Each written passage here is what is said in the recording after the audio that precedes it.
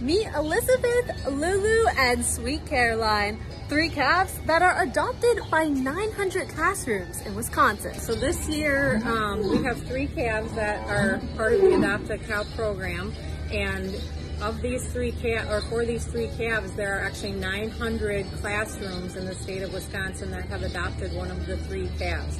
So uh, the reach of the program is, is pretty tremendous.